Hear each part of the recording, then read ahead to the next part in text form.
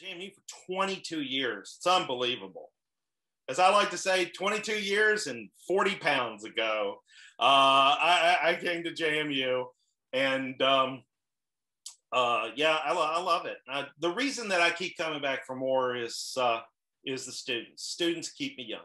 The students keep me uh, plugged in. Rich Hilliard, pictured here in an older section of the Breeze with Stan Lee, is a graphic design professor here at JMU that recently had some of his artwork picked up for a new horror production presented by Shudder.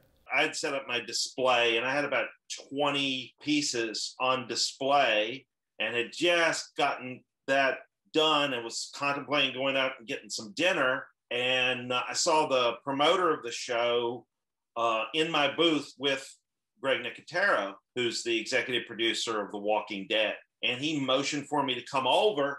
So I came over, and uh, Greg was really interested in my artwork, and he loved the fact that my artwork has the, a vintage feel about it. And uh, he really responded to that. And Greg said that uh, he was going to have a premiere in Los Angeles, uh, a screening of the first season of uh, the newly relaunched Creepshow, which originally started in 1982. It was a movie by George A. Romero, who um, was the director of Night of the Living Dead and was written by Stephen King. But of course, COVID threw a wrench in all that.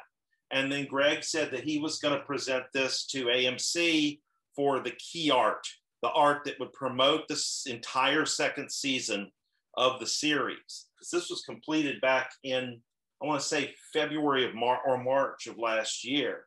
Two Thursdays ago, AMC dropped this on their Instagram account, and of course, I went crazy. My wife went crazy, and we were we put it on Instagram. We put it on Facebook. Uh, so if you go on to AMC Plus or Shudder and type in Creepshow, you'll see this image for uh, for season two.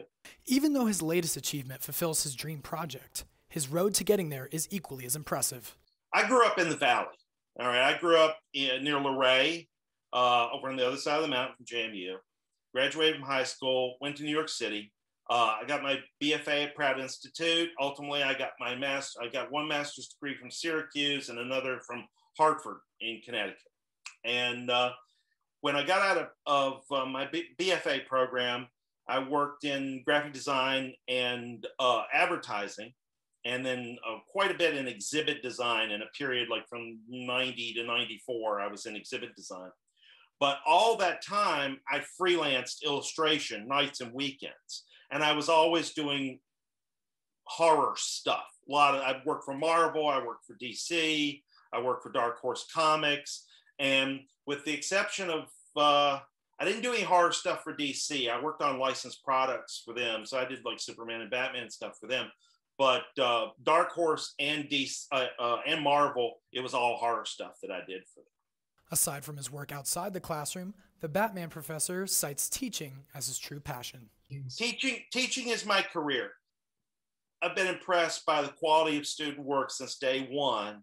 And yes, the students continue to inspire me, and I hope it's a two-way. I hope it's a two-way superhighway with no speed limit the last thing that I want for any of my students is to wake up at 45, 50 years of age and go, gee, I wish I had done X. Now's the time to do it. Win, lose, or draw, now's the time to do it because you're never going to be able to go back in time and do it. And if it doesn't work out, it doesn't work out but you will have attempted it. Reporting for Breeze TV, I'm Craig Allison.